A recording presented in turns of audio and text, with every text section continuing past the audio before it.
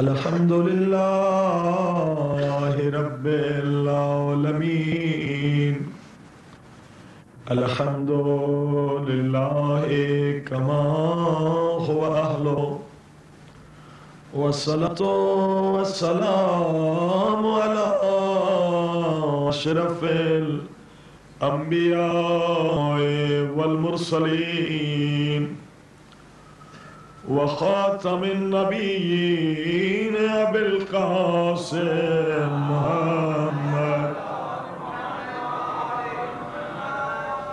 وآله الطيبين الطاهرين المعصومين. دعاء إمام الزمان عليه الصلاة والسلام. إلهي عظم البراء وبرح الخفاء. وانكشف الغطاء وانقطع الرجاء وزاكت الأرض ومنئت السماء وانت المستعان وإليك المشتكى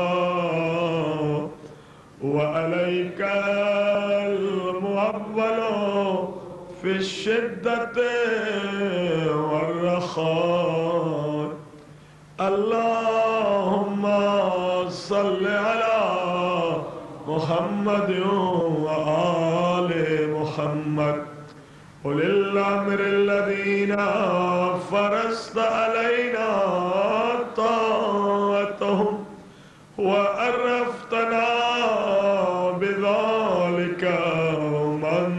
منزلتهم ففرج عنا بحقهم فرجا عاجلا قريبا كلمح البصر وهو أكرم يا محمد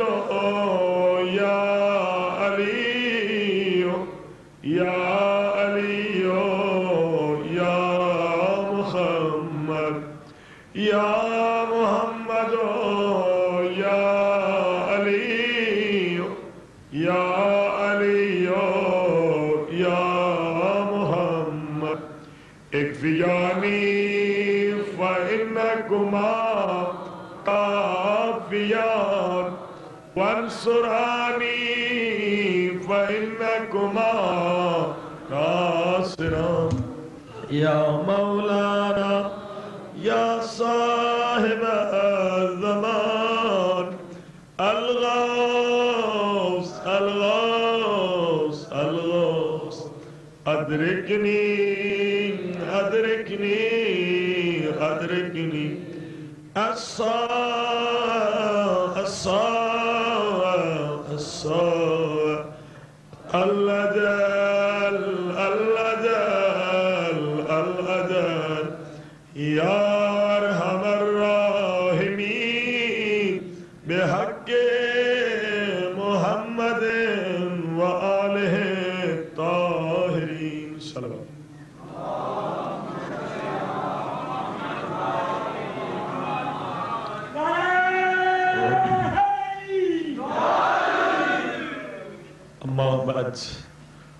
قال الله تبارك وتعالى في كتابه المجيد وفرقانه الحميد وقوله الحق بسم الله الرحمن الرحيم. من قتل نفسا بغير نفس أو فساد في الأرض فكأنما قتل الناس جميعا ومن أحياها فكأنما أحيا الناس جميعا رب اشرح لي صدري ويسر لي أمري واحلل عقدة من لساني يفقهوا قولي. صلوات پہ ہی آواز بلند.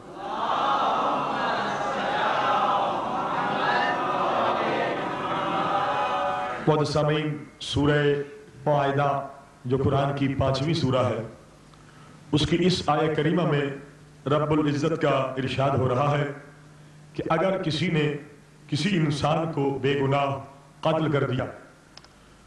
یا اللہ کی زمین پر فساد کیا، دو انسانوں کو آپس میں لڑایا، میاں بیوی کو لڑایا، بھائی بھائی کو، بھائی سے لڑایا۔ اگر دو انسانوں کو لڑاتا ہے یا کسی مسلمان کا یا کسی انسان کا قتل کرتا ہے تو خدا اعلان کر رہا ہے کہ وہ میری نظر میں ایک انسان کا قاتل نہیں، دو انسانوں کو لڑانے والا دو انسانوں کو لڑانے والا نہیں، بلکہ وہ تمام انسانوں کا قاتل ہے، وہ بدترین انسان۔ سلوات پر بابا دے لیکن اس کے مقابلے میں من احیاہا، اگر کسی نے ایک انسان کو زندہ کیا، زندگی دے دی، زندگی بچائی، تو اللہ کی نظر میں اس نے ایک انسان کو نہیں بچایا، بلکہ تمام کائنات کے انسانوں کو بچایا۔ اب امام نے کیا فرمایا؟ یہاں زندگی سے مراد ہدایت ہے۔ ورنہ زندگی اور موت خدا کے ہاتھ میں ہے۔ ہم اور آپ زندگی نہیں دے سکتے۔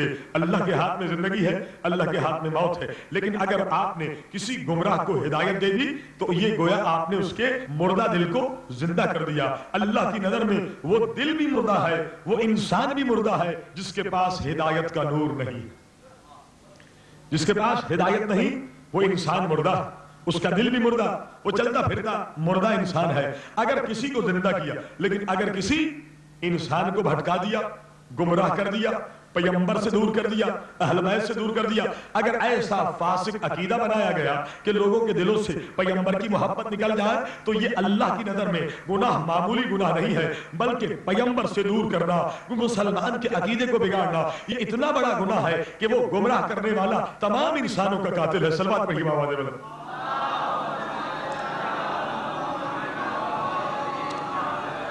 اب آپ کو پتا ہے کہ وہ کون سا ملک ہے، وہ کون سا فرقہ ہے، جن کی کوشش یہ ہوتی ہے کہ لوگوں کے دلوں سے پیغمبر کی محبت نکل جائے۔ لوگوں کے دلوں سے اہل بیت کی محبت نکل جائے۔ ہمارے شیعہ سنی سب آشکان رسول ہیں آشکان اہل بیت۔ مگر یہ انگریز کا بنایا ہوا، یہ برطانیہ حکومت کا بنایا ہوا، یہ یہودیوں کا بنایا ہوا ایک ایسا فرقہ ہمارے اور آپ کے سامنے ہے، جس کا کوئی کام نہیں۔ پیمبر کے خلاف کتابیں لکھنا پیمبر کے خلاف باتیں کہنا کہ یا رسول اللہ نہ کہو، یا رسول اللہ مدد نہ کہو، صلی اللہ علیہ یا رسول اللہ، درود و سلام بھی پیمبر پر نہ بھیجو۔ اب آپ نے دیکھا پیمبر کی ذریع کو بسا بھی نہ دو، سلوات پہ کے بابا دے بلد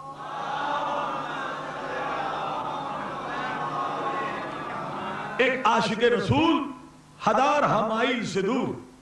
نہ جانے افریقہ سے، امریکہ سے، یورپ سے، پاکستان سے، ترکی سے، افغانستان سے زیارت پیمبر کے لیے گیا۔ اور اس عاشق کے دل میں پیمبر کی محبت۔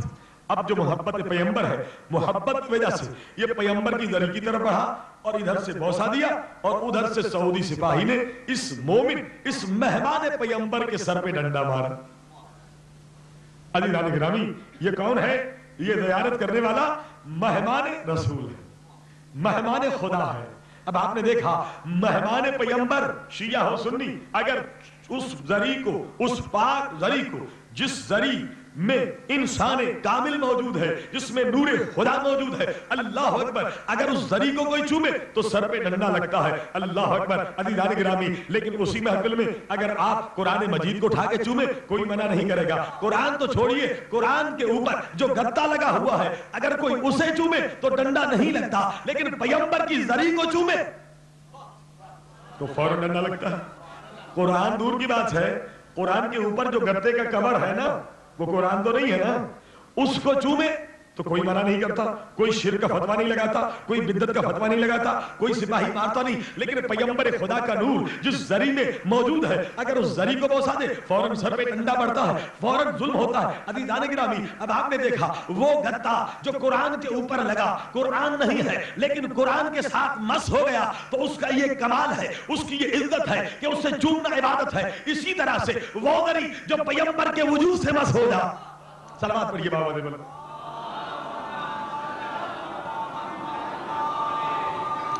کیا اس کو چومنا بدت ہو سکتا ہے؟ ہرگز نہیں۔ بلکہ حرام حرام کے فتوے۔ بلند آواز سے دیے جاتے ہیں کہ پیمبر کی ذریع کو نہ چومو۔ اب پتا چلا، ان کی دشمنی پیمبر سے ہے۔ یہ دشمنان اسلام نے فرقہ بنایا ہے۔ سلوات پر یہ بابا دے بلند۔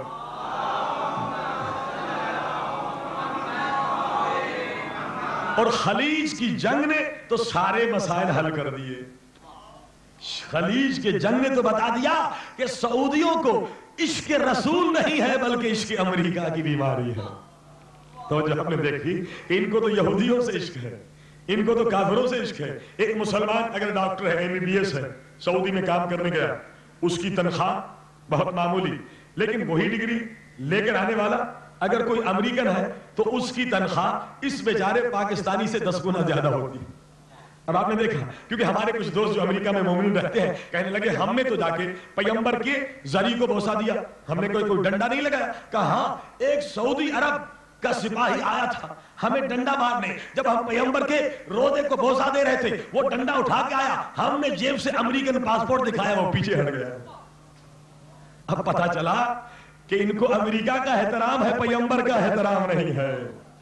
یہ ایک مومن کی گواہی جو یہ ہیوسٹن میں رہتا کہنے لگے کہ میں نے بڑے آرام سے چوما، اس نے ڈنڈا مارنا چاہا۔ میرے جیب سے امریکن پاسپورٹ نکالا، خبردار میں امریکن ہوں کہا اس کے قدم رک گئے؟ عزیزان گرامی، اب آپ نے دیکھا، جس کو امریکہ کا احترام ہے، جس کو امریکہ سے عشق ہے، یقیناً اس کا اسلام سے کوئی واسطہ نہیں ہے۔ سلوات پڑھیے بابا دے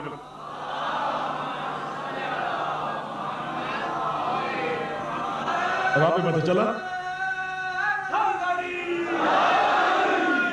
اور جیب میں اگر پاکستانی پاسپورٹ ہو تو اسے انسان ہی نہیں سمجھتے۔ مسلمان ملک ہے نا پاکستان۔ عدیدان گرامی جو سعودی کے گیت گاتے ہیں، وہ جا کے دیکھیں۔ کہ ایک ہی یونیورسٹی اگر کیمبرج یونیورسٹی سے ایک پاکستانی پاسپورٹ ہولڈر جس کے پاس پاکستانی پاسپورٹ ہے، اگر وہاں کام کر رہا ہے اور ایک ایسا انسان جس کے پاس امریکن پاسپورٹ ہے، دونوں کی ڈگریاں ایک ہے ایک جتنا علم ہے، لیکن دونوں کے تنخواہ میں زمین آسمان کا فرق ہے۔ اب آپ نے دیکھا، یہ امریکہ کے عاشق ہے، یہ یہودی کے عاشق ہے، عزیزان گرامی، اسی لیے پیغمبر سے دشمنی۔ کیوں دشمنی؟ کیا کہتے ہیں؟ ذری کو نہ چومو۔ کیوں نہ چومے؟ کہتے ہیں بدت گناہ۔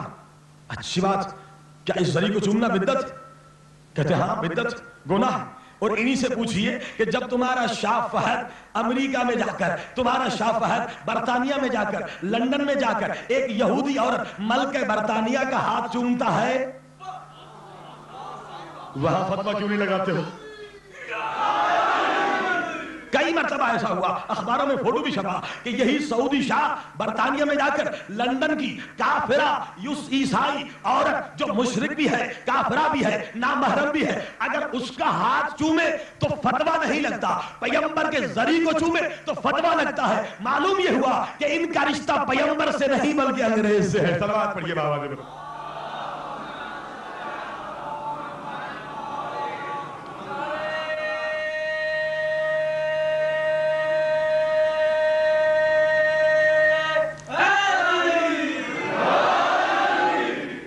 اور یہی سعودی پیسہ ہے۔ اس پورے ملک میں جتنی فرقے واریت، اس کے پیچھے سعودی کا ہاتھ۔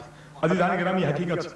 مسلمانوں کو جتنا برباد اس سعودی گورنمنٹ نے کیا ہے، کسی گورنمنٹ نے نہیں کیا۔ اب آپ نے دیکھا، یہ اسلام کے دشمن امریکہ کے دوست ہیں۔ کہتے ہیں، زری کو چومنا گناہ ہے۔ ہم نے کہا، کیوں گناہ کہا کہ نہیں، اس کو نہ چومو، یہ پیغمبر کی ذریعہ ہے۔ اچھی بات وہی وہی خانہ خدا میں، اسی سعودی عرب میں، جب مسلمان گئے، جا کے حجر اسود کو چوما، تو کسی نے ڈنڈا نہیں مارا، کسی نے روکا نہیں، کسی نے فتوہ نہیں دیا، کسی نے کفر نہیں کہا، کسی نے حرام نہیں کہا۔ ہم نے کہا، یہاں حجر اسود کو تو ہزاروں چوم رہے ہیں، منع کیوں نہیں کرتے؟ پیغمبر کے ذریعہ کو چومے، تو ڈنڈا مارتے ہو، تو جواب دیتے اس لیے یہاں منع نہیں کرتے، کیونکہ حجر اسود کوئی معمولی پتھر نہیں ہے، بلکہ یہ جنت سے آیا ہوا پتھر ہے۔ اس لیے اس کو اگر چوما جائے تو عبادت ہے۔ عزیزان گرامی، عقل کی بات نہیں ہے۔ وہ پتھر جو جنت سے آ جائے، اس کو چومنا عبادت ہے۔ اور وہ پیمبر جو مالک جنت ہو۔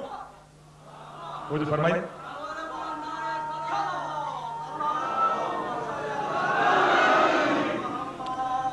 بارے دیگر سلوات پڑھی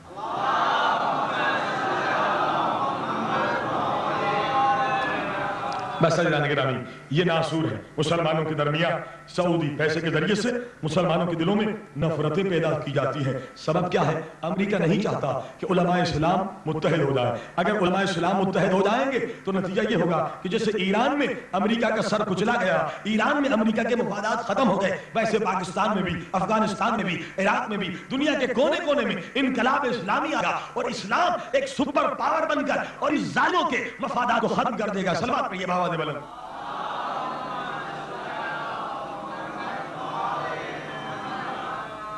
آج مسلمانوں کی دولت، مسلمانوں کی اقتصادیات پر ان ظالموں کی گرفت۔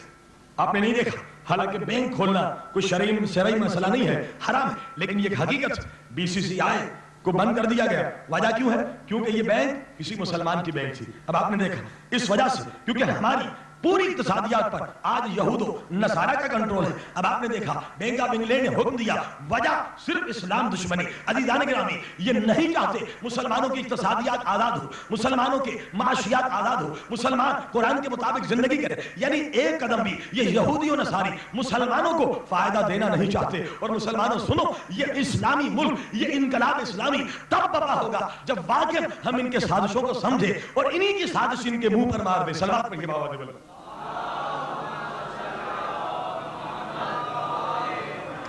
اب آپ نے دیکھا کہ ابھی محرم شروع نہیں ہوا سازشوں کے جال بچھانا شروع کر دیے۔ لہذا گزارش یہ ہے، خبردار، صبر و تحمل سے کام لیجیے اگر ہم اور آپ بھی جوش میں آئے تو سعودیوں کا کام ہو جائے گا۔ مسلمانوں کو لڑانا، یہی تو ان کا کام ہے یہی تو یہودیت کا کام، یہی امریکہ کا کام ہے۔ بس عزیزان گرامی، ان سازشوں کو ایسے ہی ان کے منہ پر ڈال دینا اور صبر و تحمل کے ذریعے سے۔ اس محرم میں ایسا امن و امان کا سلسلہ جاری رہے کہ ان کے کالے منہ ہو جائے اور یہ اپنی سازشوں میں ناکام ہو جائے جن کا مقصد ہے اداداری کو نقصان پہنچانا، جن کا مقصد ہے مسلمان کا خون، مسلمان بہائے تاکہ سعودی عرب میں اور اسرائیل میں جشن منایا جائے کہ مسلمان آپس میں لڑ رہے ہیں، تاکہ امریکہ سے مبارکباد لے لیں۔ اسرائیل کو کہیں کہ دیکھو ہم تمہارا کام کر رہے ہیں، مسلمانوں کو لڑا رہے ہیں، سلوات پر یہ بابا دے بلند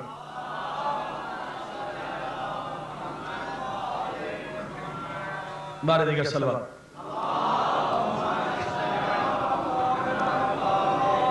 عزیزان گرامی، ہمارا عنوان ہے تربیت اولاد۔ تربیت اولاد کتنا اہم ترین موضوع ہے۔ آپ نے سنا، پیغمبر خدا فرماتے ہیں، اگر ماں نے یا باپ نے اپنے بیٹے یا بیٹی کی صحیح تربیت نہ کی تو اس پر زمین و آسمان کے فرشتے لعنت کرتے ہیں۔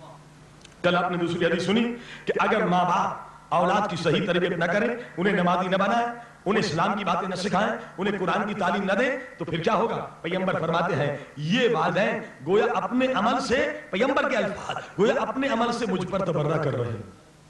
اگر کوئی پیغمبر پہ تبرہ کرے، کیا مسلمان رہ سکتا؟ مسلمان نہیں رہ سکتا۔ پیغمبر فرماتے ہیں، جو اپنی اولاد کو فاسق و فاجر بنائے، کہ انگریزی تو سکھا دی، مگر قرآن پڑھنا نہیں آتا، میڈیم انگلش میں تو ڈال دیا، مگر اسلام کے پتہ نہیں، حرام و حلال کا پتہ نہیں، نماز کے مسائل کا پتہ نہیں۔ عزیزان گرامی، ایسی اولاد کے بارے میں اور ایسے والدین کے بارے میں پیغمبر خدا آج سے چودہ سو سال پہلے افسوس کر رہے ہیں۔ ہائے، آخری زمانے کے بچے، کہ ان کے ماں باپ ان کی دنیا کی تو فکر کریں گے، مگر ان کی قبر و آخرت کی فکر نہیں۔ نہیں کریں بڑی نوکری مل جائے ہمارے بچے کو ڈاکٹر بن جائے انجینئر بن جائے مگر یہ فکر نہیں کریں گے کہ حسینی بن جائے سلمان فارسی بن جائے ابو ذر غفاری بن جائے ہر کی طرح مومن حقیقی بن جائے۔ سلمان پر ہی بابا دے بلد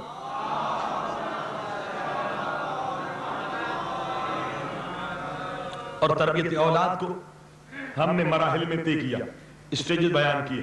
پہلے نکاح نکاح میں اگر گناہ ہوا بچے پہ اثر انداز ہوگا وہ گناہ۔ دوسرا مرحلہ حمل کا۔ اگر حمل کے دوران ماں نے غلطی کی، اس کا اثر بیٹے پر ہوگا۔ اگر باپ نے غذائے حرام کھلائی، اس کا اثر بچے پر ہوگا۔ اور تیسری منزل، دودھ پلانے کی منزل۔ اگر دودھ پلاتے وقت ماں با وضو رہے، قبلہ رخ ہو، نماز کے درمیان اگر وضو پلا وہ دودھ پلا، تو یہ تمام چیزیں اس خاتون کے ذریعے سے، اس کی محنت کے ذریعے سے اس اولاد کی طرف منتقل ہو جائیں گی۔ لیکن اگر خاتون گناہ کر رہی ہے، بی سی آر دے رہی ہے، گالیاں دے رہی ہے، غصے میں ہے اور بری باتیں کر رہی ہے، غیبت کر رہی ہے، دودھ پلا رہی ہے، تو یہ دودھ نہیں بلکہ زہر پلا رہی ہے۔ اب اس کے بعد پیغمبر خدا نے اولاد کی تربیت کو اسٹیجز میں بیان کیا۔ الولد سید سب اسنی، تمہارا بیٹا۔ سات برس تک تمہارا سردار ہے۔ اسے محبت چاہیے، اسے پیار چاہیے۔ خبردار، ایسا نہ ہو کہ ماں بیٹے کو مارے یا باپ بیٹے کو مارے۔ مارنے کا حق کبھی نہیں ہے۔ نہ ماں کو حق ہے، نہ باپ کو حق ہے۔ سات سال تک اسلام نے مارنے کا حق نہیں دیا۔ کیونکہ سات سال تک بچے کو پیار چاہیے، محبت چاہیے۔ اگر پیار و محبت نہ ملے تو نتیجہ یہ ہوگا کہ بچے کے اندر روحی کینسر ہو سکتا ہے۔ کل آپ نے سنا، بچہ مامون رشید بن سکتا ہے۔ اگر ماں اور باپ نے سختی کی، سلوات پہ یہ بابا بلند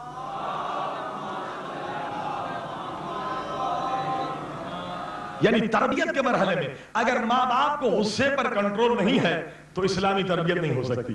بچہ تو نادان ہوتا ہے، غلطی کر دیتا ہے، کبھی گلاس توڑ دیا، کبھی سالن گرا دیا، کبھی روٹی پھینک دی۔ اب عزیزان گرامی، اگر ماں غصے والی ہے، باپ غصے والا ہے، تو بے گناہ بچے پر تھپڑ مارے جائیں گے۔ لیکن یہ سن کر تھپڑ نہ ماریے۔ اللہ کا فرمان ہے، کسی نے نبی سے پوچھا، ہم اللہ کے غضب سے کیسے بچے؟ ہم اللہ کے غضب سے کیسے بچے؟ کوئی طریقہ ہے؟ ہاں اللہ کے نبی نے کہا، اللہ کے غضب، اللہ کے عذاب سے بچنے کا ایک طریقہ ہے کہ جو تم سے کمزور ہیں، ان پر ہاتھ نہ اٹھاؤ۔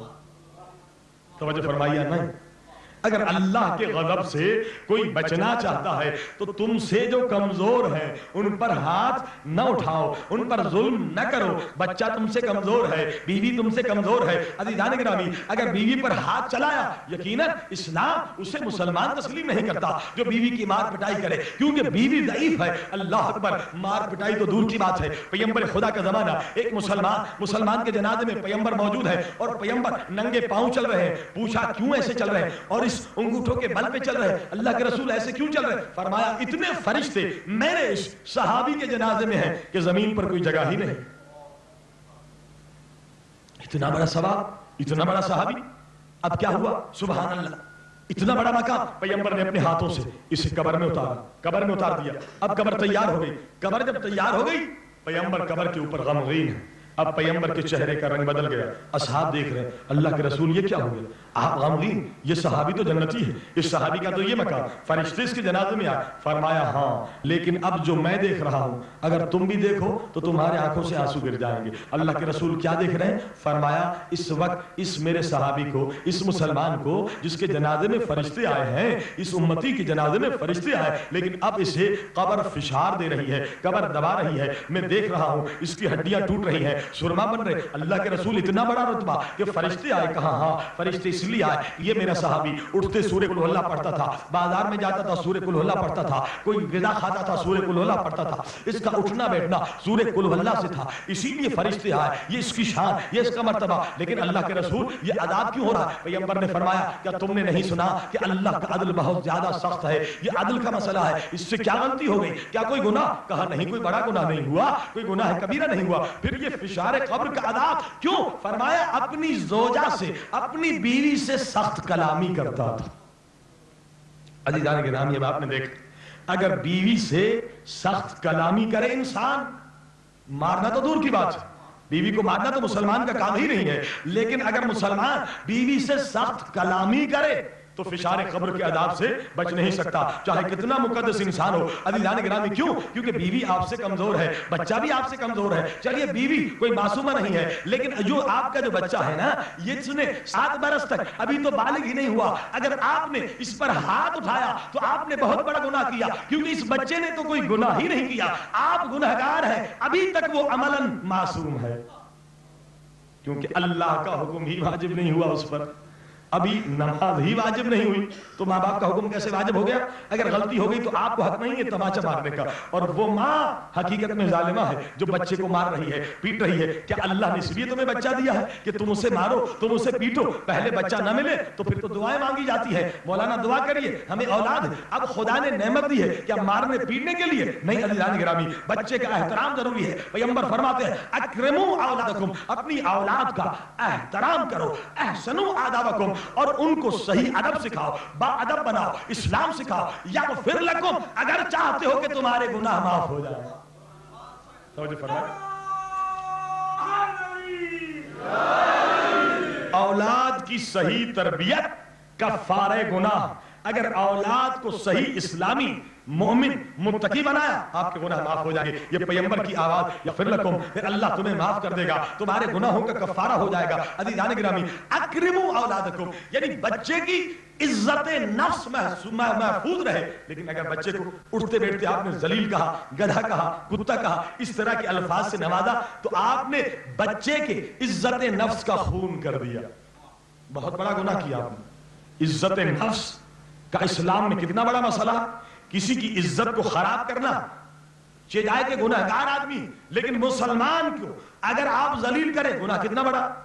یا آپ اپنے بچے کو ذلیل کر رہے ہیں۔ مجمع میں ذلیل کر رہے ہیں۔ بازار میں پیٹ رہے ہیں۔ گھر میں پیٹ رہے ہیں۔ عزیزان گرامی حق نہیں ہے۔ سات برس تک بچے کو محبت چاہیے۔ بچے کا احترام کرو۔ اگر آپ نے کسی مسلمان کی احانت کی بے عزتی کی گناہ کتنا پیغمبر فرماتے ہیں من احان ولیا فقط باردنی بالمحاربہ۔ پیغمبر نہیں بلکہ یہ حدیث قدسی ہے۔ اللہ کا کلام جو قرآن کے علاوہ ہوتا ہے اسے حدیث قدسی کہا جاتا ہے۔ پیغمبر نہیں بلکہ اللہ فرما رہا ہے۔ من احان ولیا جو اگر کسی مسلمان کی احانت کرے اگر کوئی مسلمان کو برا بھلا کہے، خدا کہہ رہا ہے، من احان ولیا، اگر کوئی مسلمان کی عزتی کرے، اس کو ذلیل کرے، فقط باردنی بالمحاربہ، گویا وہ میرے یعنی اللہ کے خلاف اعلان جنگ کر رہا اب آپ نے دیکھا کہ مسلمان کا احترام کتنا ضروری ہے۔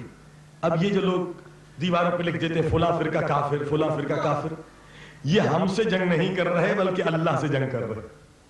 کسی کی احانت کرنا کسی مسلمان کو برا بھلا کہنا کیا ہے؟ اللہ کے خلاف اعلان جنگ۔ خبردار، ماں کو حق نہیں ہے، باپ کو حق نہیں ہے۔ کہ سات برس تک بچے کو مارے یا پیٹے، اس پر ظلم کرے۔ ہاں یہ نہیں کہ بچے کو اتنا پیار دیا جائے کہ وہ عادات نہ سیکھے۔ ہاں پیار سے اسے سمجھاؤ۔ کیسے سمجھاؤ؟ اب قرآن نے طریقہ بتایا کہ بچے کو کس طرح سے نصیحت کی جاتی ہے۔ عزیزان گرامی، اولاً تو غصے پر کنٹرول ہو، کیونکہ اگر غصے میں آپ کسی کو سمجھانا چاہیں گے، اگر آپ کو کوئی تماچا مار کر کہے کہ آپ سگریٹ نہ پیئے تو کیا آپ سگریٹ پینا چھوڑ دیں گے؟ بلکہ آپ اسے تماچا ماریں گے۔ سائیکالوجی مسئلہ ہے۔ کچھ نادان ماں باپ سمجھتے ہیں کہ مار کے ذریعے سے ہمارے بچے سدھر جائیں گے۔ یاد رکھیے، بچہ جب بھی بگڑتا ہے، دو چیزوں کی وجہ سے، یا زیادہ سختی کی وجہ سے یا زیادہ پیار کی وجہ سے۔ درمیانہ راستہ اسلام کا راستہ ہے۔ نہ اتنا پیار دو کہ بچہ بد اخلاق ہو جائے، نہ اتنا مارو نہ اتنا ظلم کر مارنے کا تو حق ہی نہیں عزیزان گرامی اب آپ نے دیکھا اس طرح سے جو بچے بگڑتے ہیں یا زیادہ سختی سے یا زیادہ پیار کرنے سے اب درمیانہ راستہ بچے کو محبت چاہیے سات سال تک تو اسے محبت ہے لیکن عزیزان گرامی کس طرح سے بچے کو تبلیغ کرنا ہے کس طرح سے سکھانا ہے یہ نہیں غصے سے مار سے بھائی ماریں گے تو کیا ہوگا؟ جب تک آپ ہوں گے وہ کام نہیں کرے گا۔ بچے کو مارا کہ نماز پڑھو بھائی جب تک آپ ہوں گے تب تک میں نماز پڑھے گا پھر نماز چھوڑ دے گا۔ اب آپ نے دیکھا اسلام منع کرتا ہے لا اکراہ زبردستی سے یہ کام نہ لو، بلکہ ہاں جب بالغ ہو جائے، پھر تو آپ اگر نماز نہ پڑھے تو سختی بھی کر سکتے ہیں، لیکن اس سے پہلے کیا حکم ہے؟ قرآن نے طریقہ بتایا، پہلے تو غصے پر کنٹرول پہلا شرط، جو ماں باپ غصے والے ہیں، وہ کبھی بھی بچوں کی اسلامی تربیت نہیں کر سکتے۔ وہ سب سے پہلے غصے کا علاج کریں۔ غصے کا علاج کیا ہے؟ عزیزان گرامی پیغمبر کی آپ حدیث سنی غصے کا علاج کئی اگر غصے میں آئے امام فرماتے ہیں سجدے میں چلے جاؤ۔ اور علماء نے غصے کی حالت میں استغفر اللہ پڑھنا اللہ سے پناہ طلب کرنا کچھ علماء نے واجب کہا ہے۔ اگر انسان غصے میں آ جائے تو اس وقت ضرور استغفر اللہ کہے۔ مالک مجھے معافی دے شیطان کے شر سے بچا دے۔ کیونکہ شیطان یہ کہتا ہے کہ جب انسان غصے میں ہوتا ہے جب عورت غصے میں ہوتی ہے یا مرد غصے میں ہوتا ہے تو شیطان کا یہ کہنا ہے مرد یا عورت جب غصے میں ہوتے ہیں تو میرے قدم قدموں میں فٹ بال کی طرح ہوتے ہیں۔ یعنی غصے میں مرد ہو یا عورت، شیطان کیا کہتا ہے؟ میرے قدموں میں فٹ بال کی طرح ہوتے ہیں کہ جہاں کک ماروں گا وہیں چلے جائیں گے۔ یعنی آپ غصے کی حالت میں آپ تو شیطان کے قدموں میں ہیں۔ تو جب آپ شیطان کے قدموں اور شیطان کے کنٹرول میں ہیں، تو بچے کو نصیحت کیا کریں گے؟ خاک کریں گے۔ کیونکہ آپ تو خود شیطان کے مرید بنے ہوئے بس عزیزان گرامی پہلا شرط، ماں باپ کو غصہ ختم کرنا چاہیے۔ اب آپ پوچھیں گے کیسے؟ غصہ ختم ہی نہیں ہوتا۔ کئی سالوں کی بیماری عزیزان گرامی اہل بیت نے طریقہ بتایا جو غصہ ختم کرنا چاہتے ہیں واقعا اس مجلس میں، کیونکہ الغضب النار، مولا فرماتے غصہ آگ ہے۔ اب غصے والے کی بات بتاؤں، ایک مومن تھا، مولا علی کا چاہنے والا تھا، مگر غصہ تھا۔ اب کیا ہوا؟ خجورے بیچ رہا تھا۔ ایک بچی واپس آئی، کہا، میرے مالک، میں غلام ہوں، میں کنیز ہوں۔ یہ مالک میرے خجور پسند نہیں کرتے خجور تول لے، اتنی ہے، پیسے مجھے واپس کر دے۔ اس نے کہا، نہیں نہیں دیتا ہوں، چلا جا۔ اب وہ خاتون، وہ بچی چھوٹی سی واپس آئی۔ مولا علی کو راستے میں دیکھا اس نے بھی نہیں پہچانا یہ کون مولا علی کی حکومت مولا علی نے دیکھا بچی رو رہی ہے۔ مولا نے فوراں پوچھا، کیوں رو رہی اب آپ نے دیکھا، ایک بچی پر رحم کرنا، یہ مولا علی کی سنت ہے۔ انسان پر رحم کرنا، یہ اہل بیت کی سنت ہے۔ کیوں رو رہی ہو؟ کہا، یہ بات ہے، میں نے اس سے خجوریں لی ہیں۔ اب جن کے میں کام کرتی ہوں، انہیں پسند نہیں آیا اور یہ واپس نہیں لیتا۔ مولا آئے اس کے قریب، جبکہ مومن شیعہ، اہل بیت کا ماننے والا، مولا علی کا چاہنے والا، مگر کبھی مولا کی زیارت نہیں کی۔ مولا نے کہا، دیکھو، اس کی خجوریں تول لو۔ اگر اتنی ہیں تو جتنی خجور ہے اتنے پیسے واپس کر دو۔ یہ غصے والا آدمی تھا۔ اس نے کہا چلے چلے آپ اپنا راستہ لیں۔ مولا اسے سمجھانے لگے۔ یہ اور غصے میں آیا اور اس نے بدبختی یہ کی ایسی شیطانت کی کہ مولا علی کے سینے پر گھوسا مار دی اب آپ نے دیکھا کہ غصے والا انسان کیسے ملعون بن جاتا ہے۔ مولا علی کے سینے پر گھوسا مار دیا۔ اب مجمع نے پہچان لیا بادار نے کہا "او بدبخت! تجھے پتا یہ کون؟ ہے کہا نہیں یہ تو مولا علی۔ ہے اب قدموں پہ گر کر رونے لگے۔ مولا نے کہا معاف تب کروں گا جب غصے کو ختم کر دے۔ یہ نہیں کہ پھر دوسروں کو بھی گھوسا مارتا رہے۔ سلوات پڑھیے بابا دے بلند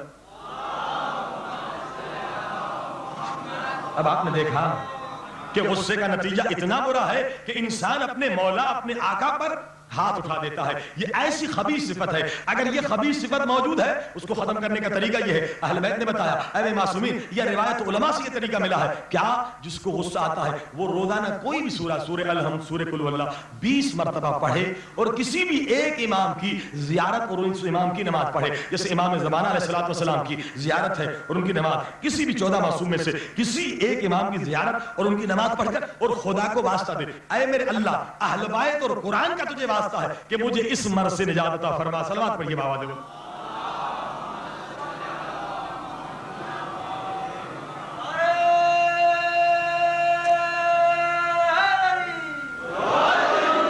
اگر مسلسل چالیس دن تک یہ کرتا رہے تو انشاءاللہ شفا پا جائے گا۔ عزیزان گرامی اولاد کی تربیت کرنا ہے تو یہ کام کرنا پڑے گا۔ اب آپ نے دیکھا اولاد کو کس طرح سے سمجھانا ہے؟ قرآن نے بتایا غصے سے نہیں۔ اسکال للقما اسکال لقمان ابن یاد کرو اس وقت کو، جب لقمان وہ لقمان اپنے بیٹے کو نصیحت کر رہا تھا۔ اب دیکھیے نصیحت کا طریقہ۔ قرآن نے کیا بتایا؟ واعظ کر رہا تھا، نصیحت کر رہا تھا۔ یعنی باپ پر اولاد کا یہ حق ہے کہ باپ اپنی اولاد کو نصیحت کرے۔ لیکن عزیزان گرامی، اگر باپ خود نصیحت یافتہ نہیں، اگر اسے خود نصیحت کا پتہ نہیں، تو اولاد کو خاک نصیحت کرے گا۔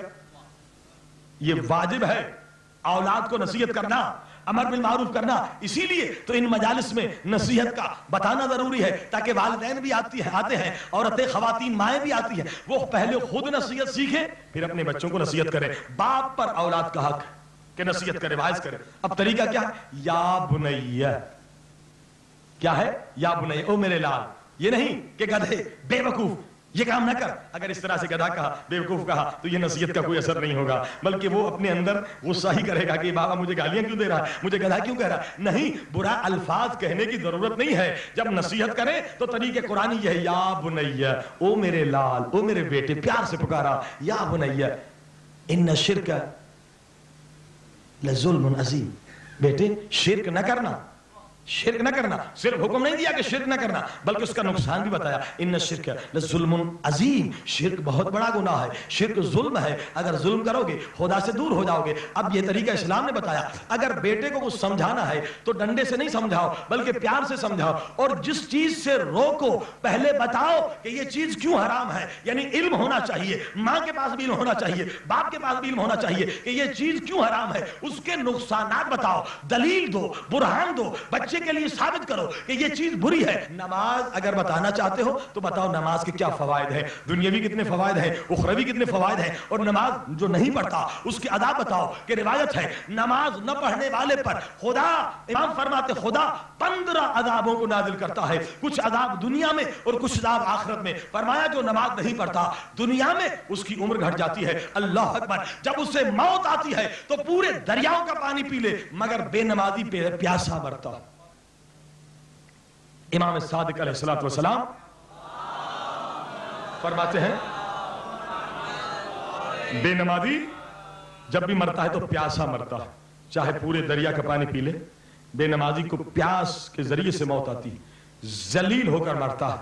فرشتے اسے ذلیل کرتے ہیں، عذاب نازل کرتے ہیں۔ اور بے نمازی جب قبر میں جاتا ہے، تو قبر میں اس کے اندھیرا ہوتا ہے، قبر میں اس کے عذاب ہوتا ہے۔ عزیزان گرامی آپ نے دیکھا، اس کو دلیل دے امام نے بھی دلیلیں دی ہے مثلا قرآن مجید میں ارشاد ہوا، امام فرماتے ہیں پیمبر فرماتے ہیں، رسول خدا فرماتے ہیں، اگر کوئی نماز جان بوجھ کر نہ پڑھے، امام فرماتے وہ کافر ہے۔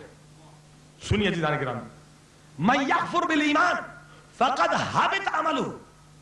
جو ایمان کے بعد ایمان کے ساتھ کفر کرے۔ لا الہ الا اللہ بھی پڑھ رہا ہے، محمد رسول اللہ بھی پڑھ رہا ہے، علی ولی اللہ بھی پڑھ رہا ہے، پھر بھی نماز نہ پڑھے۔ امام فرماتے وہ کافر ہے۔ فقد حبط عملہ، اس کے سارے عمل برباد۔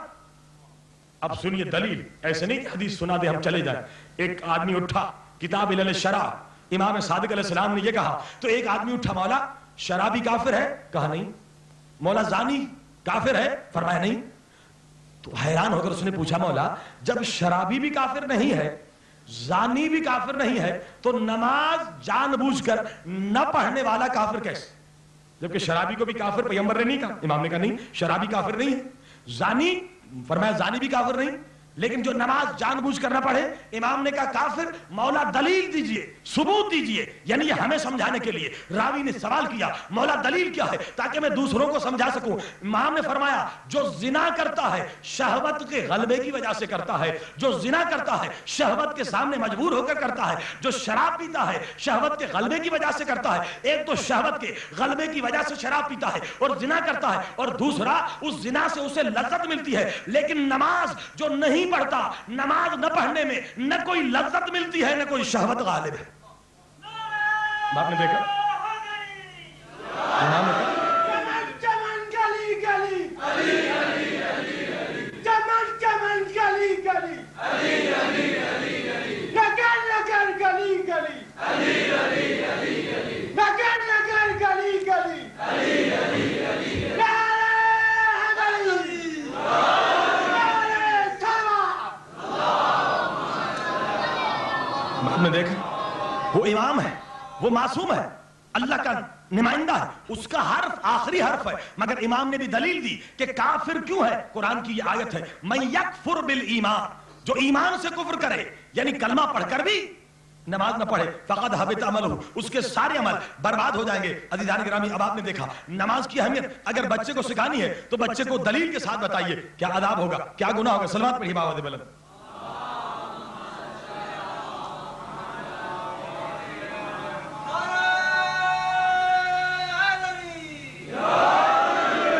یہ سوال ہے کہ برائے مہربانی ایسی دعا بتائیں جن کے ہاں یہاں اولاد نہیں ہوتی، وہ کیا کریں؟ امام حسن مشتبہ علیہ السلام والسلام۔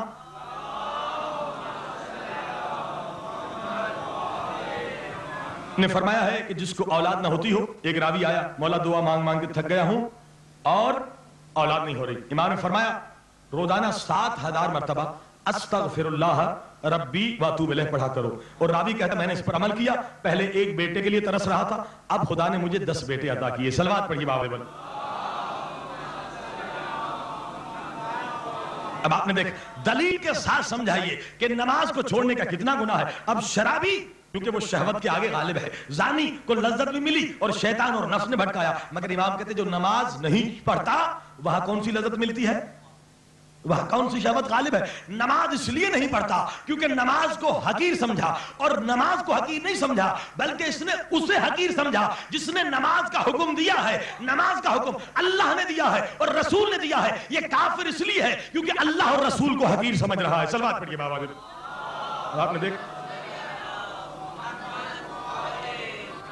جو نماز نہیں پڑھتا قرآن نے کیا کہا؟ عقیم الصلاة، نماز پڑھو۔ ولا تکونوا من المشرکین یہ آیت قرآن ہے۔ اگر تم نے نماز نہیں پڑھی، تو تم اللہ کی نظر میں مشرک ہو۔ یعنی جو نماز نہیں پڑھتا، وہ بت پرس کی مانند ہے۔ اور نماز اگر نہیں آتی عزیزان گرامی، پھر بھی پڑھیے۔ اسلام نے یہاں تک چھٹی دی ہے کہ چالیس دن تک تمہیں معافی ہے۔ جیسی بھی نماز ہے، جا کے جماعت میں پڑھو۔ چالیس دن کے بعد تم سیکھ جاؤ گے۔ یعنی چالیس دن تک کوئی گناہ نہیں ہے۔ آپ کی نیت کو خدا دیکھنا چاہتا ہے۔ اللہ یہ دیکھنا چاہتا ہے کہ اگر میں بلاتا ہوں تو یہ میرے بلانے کھانے پر آتا ہے یا نہیں؟ اور نمک حلالی یہی ہے کہ اگر خدا بلائے، اگر رسول بلائے، تو یقیناً انسان حاضر ہو جائے۔ سلوات پڑھیے بابا دے بلند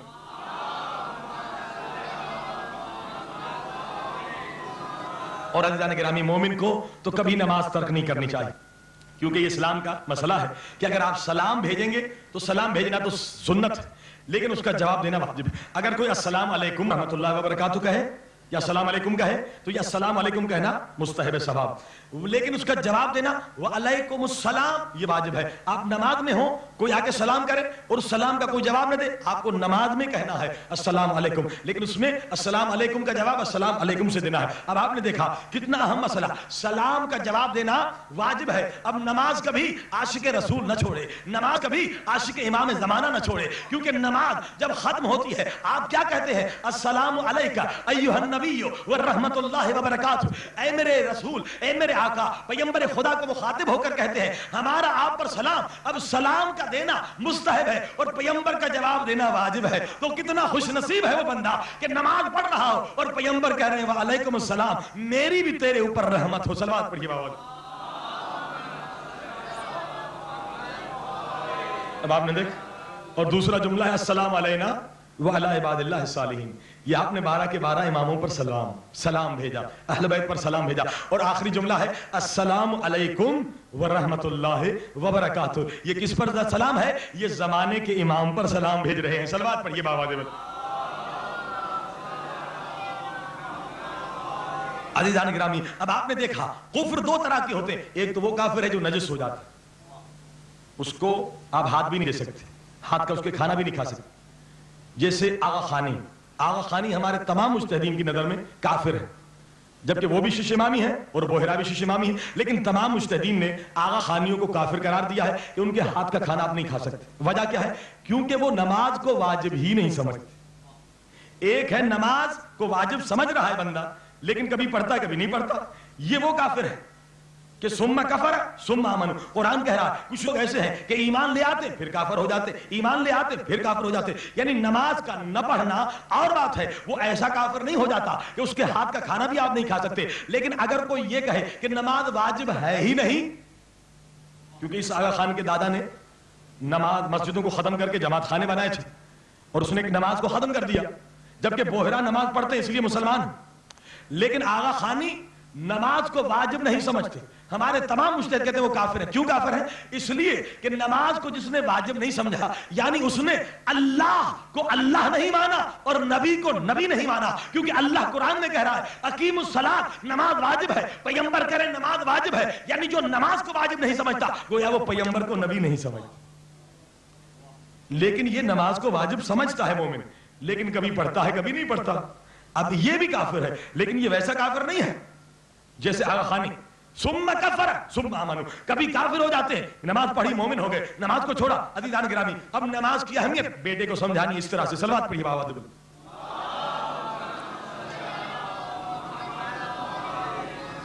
امام آپ کے مولا علی ہماری جان قربان مولا علی کے نام پر جنگ ہو رہی ہے۔ اسلام کے دشمنوں سے جنگ ہو رہی ہے۔ ابن عباس کہہ رہے ہیں، مولا علی بار بار آسمان کی طرف دیکھ رہے ہیں۔ مولا کیا کر رہے ہیں؟ کیا دیکھ رہے ہیں؟ مولا فرمانے لگے، میں سورج کو دیکھ رہا ہوں کہ کب زوال آئے اور نماز ظہر ادا کروں۔ وہ کہنے لگے، ابن عباس، مولا یہ کوئی نماز کا وقت ہے؟ اسلام کے دشمنوں کے ساتھ جنگ ہو رہی ہے۔ آپ لیڈر ہیں، آپ جنرل ہیں، آپ ہمارے کمانڈر ان چیف ہیں۔ اگر آپ نے نماز پڑھنا شروع کر دی تو ہمیں شکست بھی ہو سکتی ہے۔ اس کی کمان کون سنبھالے گا۔ ایک مرتبہ مولا جلال میں آتے ہیں۔ ابن عباس، کیا بات کر رہے ہو، اسی نماز کو قائم کرنے کے لیے تو میں ان کے خلاف جنگ کر رہا ہوں۔ سلوات پڑھیے بابا دے بلا۔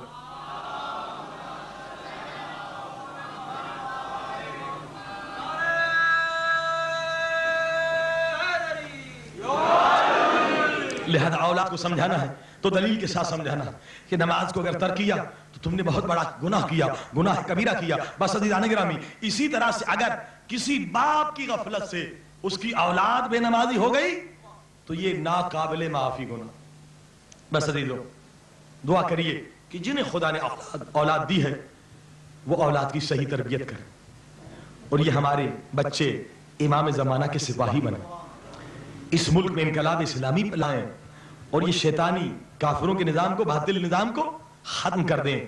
یہ ہم اگر توجہ دے دیں اولاد کی طرف تو اب تو آپ دیکھ رہے ہیں کہ شرابی ہم پر حکومت کر رہے ہیں، امریکہ پٹو ہم پر حکومت کر رہے ہیں، لیکن اگر آپ نے نئی نسل کو بچایا، ان کی صحیح تربیت کی، تو یقیناً ہماری آنے والی نسلیں ان یہودیوں کے نمخاروں سے اس حکومت کو لے کر اور اس ملک میں اسلامی انقلاب لا سکیں گے۔ سلوات پڑھیے بابا دے بلند۔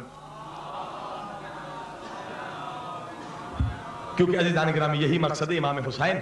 امام حسین کا مقصد یہی ہے کہ اللہ کی زمین پر اللہ کا قانون نافذ ہو جائے۔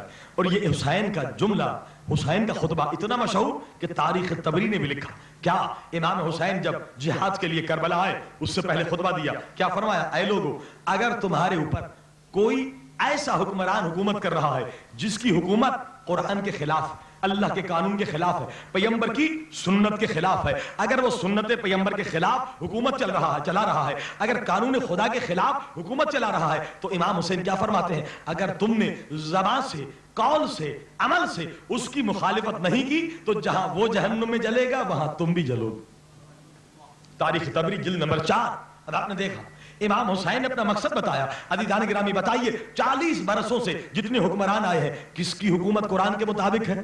یہ آپ کے کورٹوں کا نظام بھی یہودیوں کا بنا ہوا۔ مسلمانوں پر جو نظام قانون کورٹوں میں چل رہا ہے، یہودی کافروں کا بنایا ہوا۔ قرآن کا حکم کہاں ہے؟ عزیزان گرامی، پولیس کا سسٹم، وہی جو انگریز دے کر گیا ہے۔ ملٹری کا نظام، وہی جو انگریز نے سکھایا ہے۔ ہمارے فوج پر بھی ظلم ہو رہا ہے، سپاہیوں پر بھی، پولیس پر بھی ظلم ہو رہا ہے، کیونکہ ان کی کوئی تربیت کا انتظام نہیں ہے۔ پولیس کو نہیں بتایا جاتا ہے کہ اسلامی کیا تعلیم ہوتی ہے۔ فوج کو نہیں بتایا جاتا ہے۔ وہی تعلیم، وہی سسٹم جو انگریز نے سکھایا ہے۔ پورا معاشرہ دیکھیے، فاسق و فاجروں کی حکمرانی ہے۔ کبھی شرابی حکومت کر رہے ہیں، کبھی امریکہ کے پٹھو حکومت کر رہے ہیں۔ چالیس سال زیادہ عرصہ گزر گیا، لیکن عزیزان گرامی، اللہ کا قانون نہیں آیا اور پیمبر کے سنت کے مداد ہوتے رہے ہیں، بے حیائی ہو رہی ہے اور یہی افراد ہیں جو بے حیائی کر رہے ہیں، بے غیرتی کر رہے ہیں۔ اس ملک میں جسے مسلمانوں کا ملک کہتے ہیں، اس ان کے بازار بھی چل رہے ہیں، گانا بجانا بھی ہو رہا ہے۔ یہ سنت پیمبر کا مذاق اڑ رہا ہے، دھجیاں اڑ رہی ہے۔ اب عزیزان گرامی، ہم پر اور آپ پر فرض کیا ہے؟ حسین کہتے ہیں، اگر قول سے، اگر عمل سے تم نے مخالفت نہیں کی، تو تمہارا ٹھکانہ وہی ہوگا،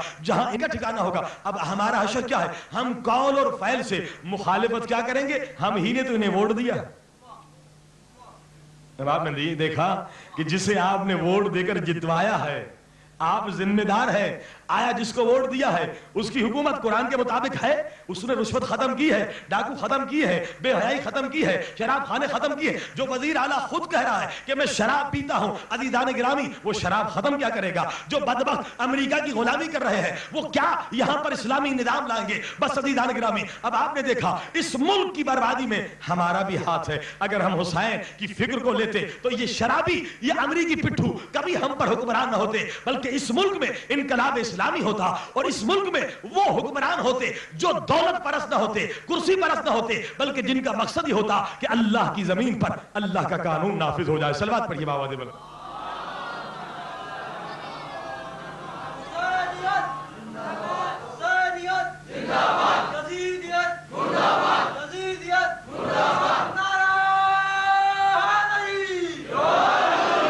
اب آپ نے دیکھا حسینیوں کا یہ فریضہ ہے۔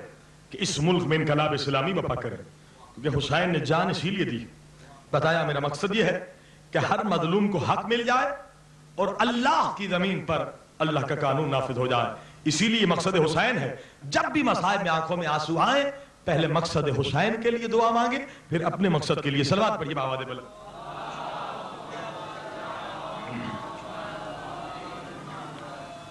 اللهم صل على محمد وآل محمد.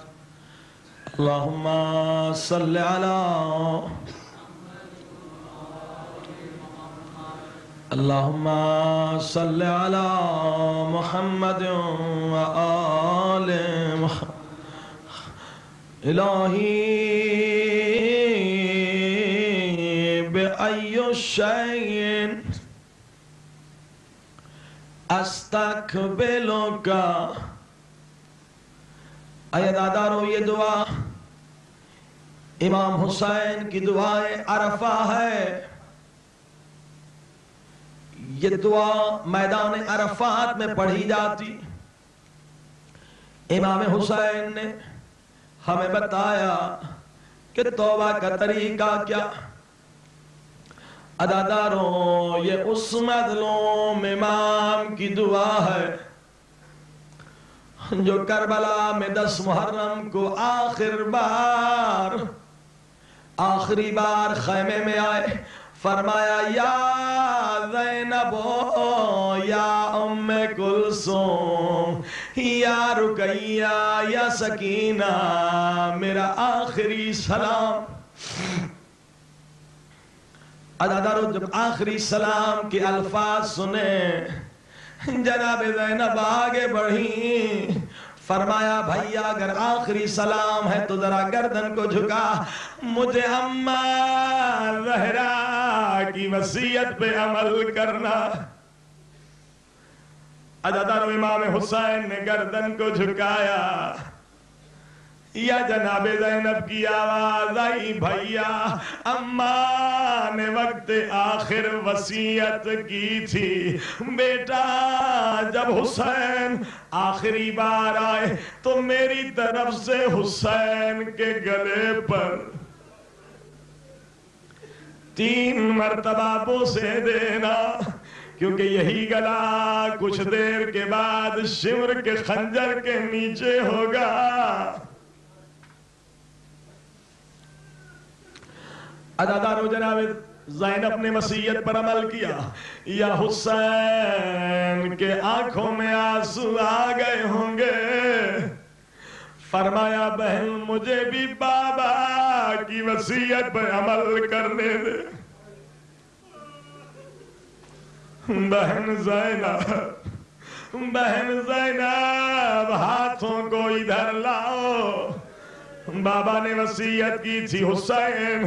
جب زینب سے خدا حافظ کرنے آئے، میری طرف سے زینب کے ہاتھوں پہ تین بوسے دینا، میری طرف سے زینب کے سر پہ بوسے دینا۔ کیونکہ انہی ہاتھوں میں رسیاں پہنائی جائیں گی۔ انہی ہاتھوں میں رسیاں پہنائی جائیں گی۔ جناب زینب کی سر سے چادر اتاری جائے گی۔ بس زیادہ رو وہی حسین ہمیں توبہ کا طریقہ بتا رہے فرما رہے گناہگارو اس طرح سے فریاد کرو۔ الہی بے ایو شیئن استقبلو کا اے میرے اللہ، کس چیز کے ذریعے سے تیری رحمت کا استقبال کروں؟ کس چیز کے ذریعے سے تیری عظمت کا استقبال کروں۔ آگے جملے سنیے۔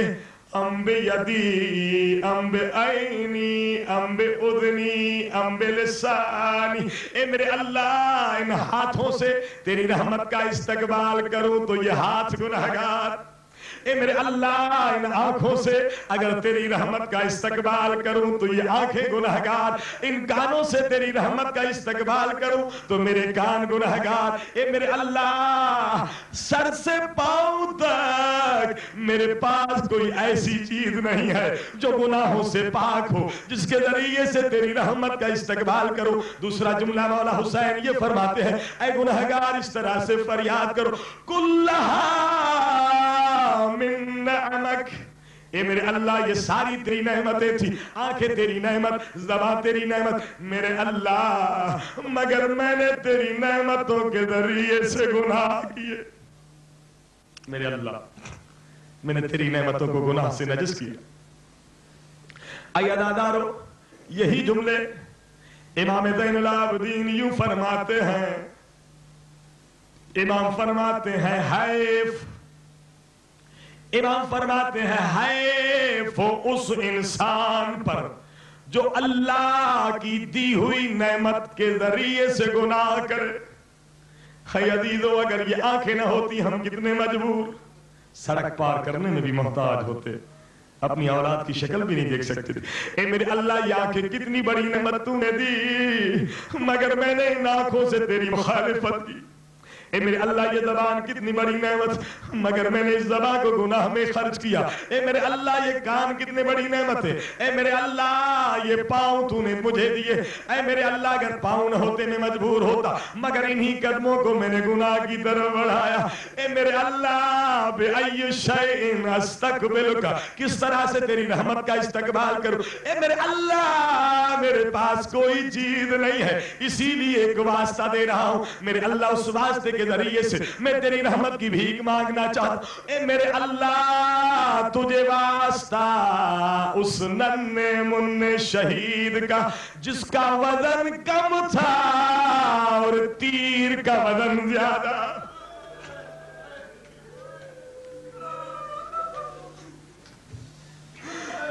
ادادارو سمجھ گئے ہوں گے۔ یہ کس کا واسطہ؟ اے میرے اللہ تجھے واسطہ اس ننے من شہید۔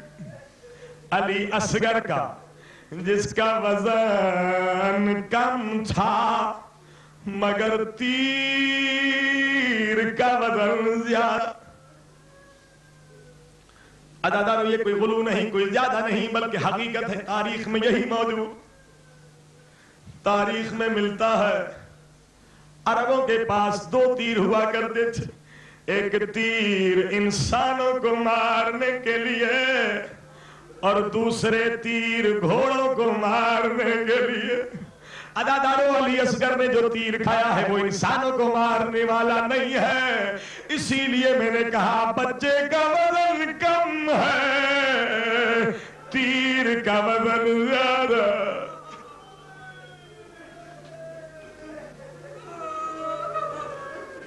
خیر میرے اللہ، اس سے بڑھ کر کوئی واسطہ نہیں ہے۔ ادادار الظالم حرملا نے کمان میں تیر ڈالا، یا ہاتھ لرد تیروں کمان گر گئے۔ پھر دوسری مرتبہ، پھر تیسری مرتبہ ہاتھ لرز رہے۔ یا ابن سعد نے پوچھا، اے حرملا حسین سے ڈر رہا ہے یا؟ حسین کے بچے سے۔ یا حرملا کی آواز آئی ہے ابن سعد، نہ حسین سے ڈر رہا ہوں۔ نہ علی اصغر سے ڈر رہا۔ لیکن جب تیر پھینکنا چاہتا ہوں، ایسا لگتا ہے کوئی کالے برکے میں بی بی ہے، جس کے سر پہ قرآن رکھا ہوا ہے۔ وہ بی بی فریاد کر رہی ہے حرملا حرملا میرے بچے نے تیرا کیا بگاڑا؟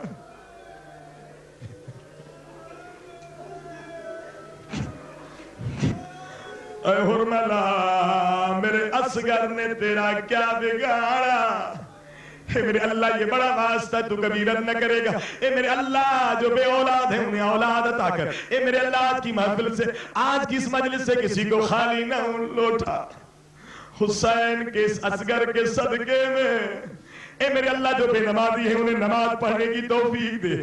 اے میرے اللہ جو بے نمازی ہے وہ آج اصغر کے خون کا حد کریں، خون کی قسم کھا کے کہیں کہ پھر نماز قضا نہیں ہوگی۔ اے میرے اللہ بے نمازیوں کو نماز پڑھنے کی توفیق دے۔ اے میرے اللہ ہمیں گناہوں سے بچا۔ اس اصغر کا تجھے واس حدادارو حسین نے دیکھا تیر چلا۔ کیونکہ ہاتھ لرز رہے تھے۔ حرملا نے سوچا اگر چھوٹا تیر ہوگا، ممکن ہے نشانے پہ نہیں لگے۔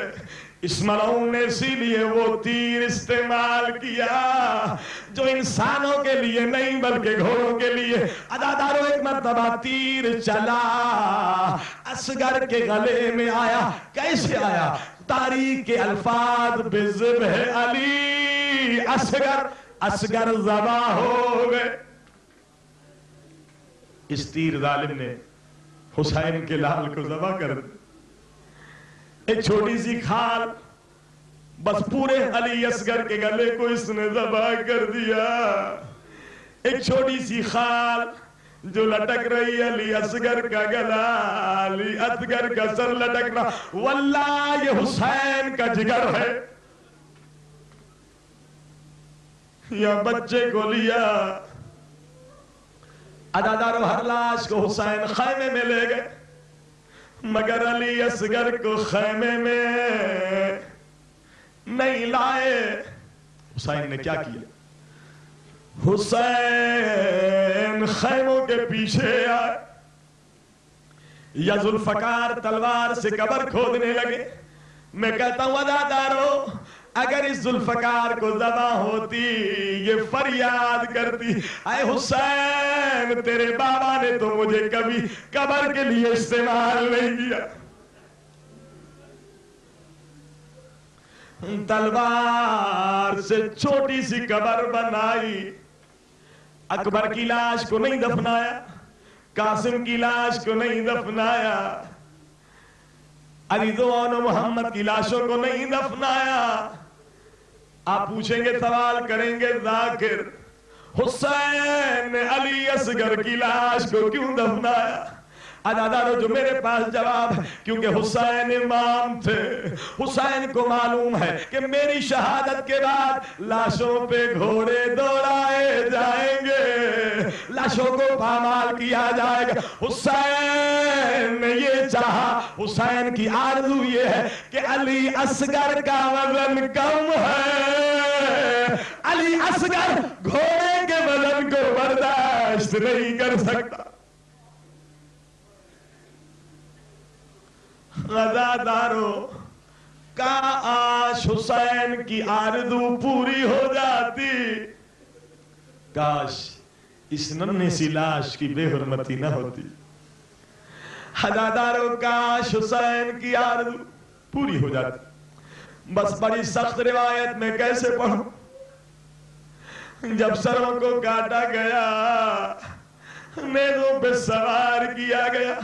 ابن سعد نے کہا اکہتر سر ہے۔ وہ ننا سا سر کہا۔ کسی ظالم نے کہا، حسین خیمے کے پیچھے گئے تھے۔ حسین نے علی اصغر کو دفنا دیا۔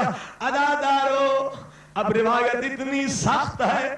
اس مجمع میں جو سادات مومنین، ان سے ہاتھ جوڑ کر میں معافی مانگوں گا۔ اداداروں میں کبھی یہ روایت نہیں پڑھتا۔ مگر امام کا فرمان ہے، اے ذاکر، روایت کتنی بھی سخت ہو، کبھی ہمارے چاہنے والوں سے چھپانا نہیں۔ ہے ہمارے چاہنے والوں کو پتا تو چلے، کربلا میں ہمارے اوپر کیا ظلم ہو گیا۔ ادادارو اب ابن سعد ملعون نے وہ حکم دیا، وہ ظلم کا حکم۔ پوری تاریخ میں ایسا ظلم نظر نہیں آتا۔ کیا حکم دیا؟ حکم نے یہ دیا، چالیس نیزے بردار گھوڑوں پر سوار ہو جائے۔ اور نیزوں کو زمین میں لگاتے چلے جائیں جہاں اصغر کی لاش ہوگی، وہی اصغر مل جائیں گے۔ اداتاروں یا نیزہ بردار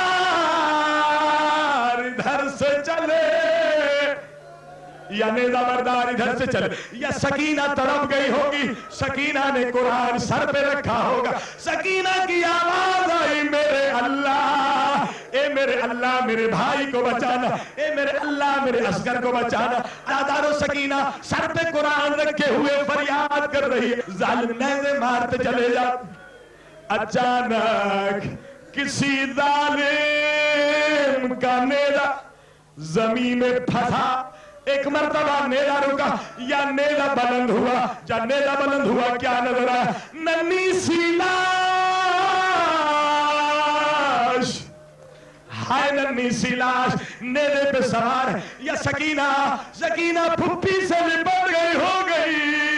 لپٹ گئی ہوگی۔ پھپی اماں میری فریاد، اے میرے اللہ میری فریاد۔ میرا اصغر دو مرتبہ شہید ہوا۔ ایک مرتبہ حرملہ کے تیر نے شہید کیا۔ ایک مرتبہ ظالم کے نیوے نے شہید کیا۔ اے میرے اللہ، تجھے اصغر کی مظلوم، لاش کا واسطہ۔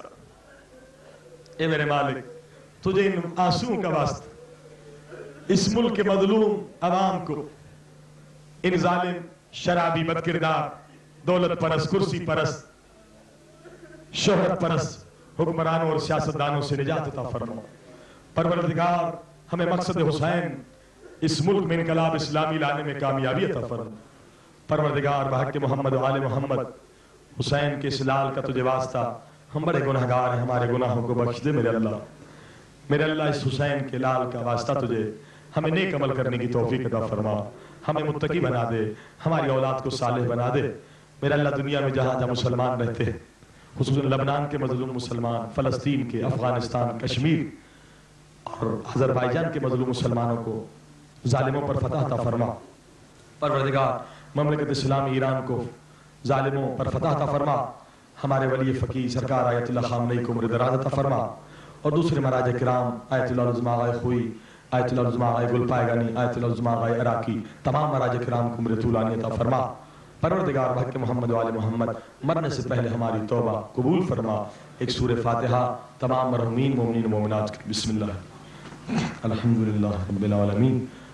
الرحمن الرحيم مالك يوم الدين إياك نعبد وإياك نستعين اهدنا الصراط المستقيم صراط الذين أنعمت عليهم غير المغضوب عليهم ولا الضالين ربنا وتقبل منا إنك أنت السميع العليم. اللهم صل على